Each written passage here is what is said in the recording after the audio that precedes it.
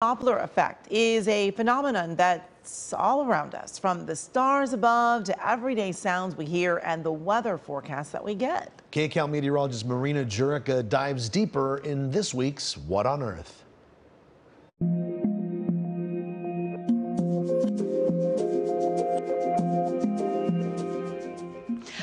Buckle up because we're about to take a whirlwind tour through sound, light, and even weather forecasting with the Doppler effect.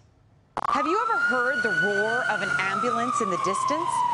Noticed how the sound changes as it zooms past you? Well, that's the Doppler effect in action, and it's cooler than you might think. So here's the deal. As the ambulance races towards you, the sound waves it produces gets compressed, like when you squish a spring together, and that makes the pitch higher, so it sounds like a higher pitched siren. But as it zooms away, the sound waves actually stretch out like a spring being pulled, lowering the pitch as it fades into the distance. Now here's where it gets even cooler. The Doppler effect isn't just for sound. It happens with light too. That's how astronomers can tell if a star or galaxy is moving actually away from us or towards us. Like this image of NGC 1559 that was recently captured by the James Webb Telescope that is 35 million light years away.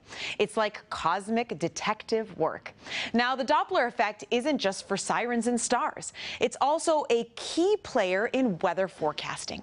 As a meteorologist, we use something called a Doppler radar. It sends out radio waves that bounce off raindrops or snowflakes in the atmosphere. Now, if those raindrops or snowflakes are moving towards or away from the radar, the frequency of the waves bouncing back actually changes. And this matters because analyzing these frequency changes, we can figure out the speed and direction of those raindrops or snowflakes. With this info, we can predict where a storm is headed, how intense it's going to be, and even if there is a chance of hail or tornadoes.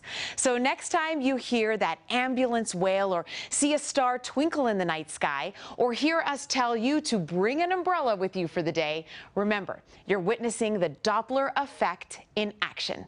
And that's what on earth for this week.